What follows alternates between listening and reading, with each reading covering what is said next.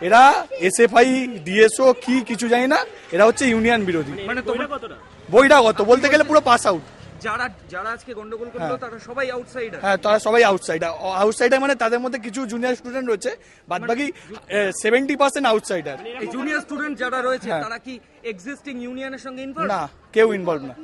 আমি চিনি না আমি কলেজে ঢুকেছি আজকে ঢুকে দেখছি মানে আমি এইমাত্র ঢুকলাম আপনাদের সামনেই।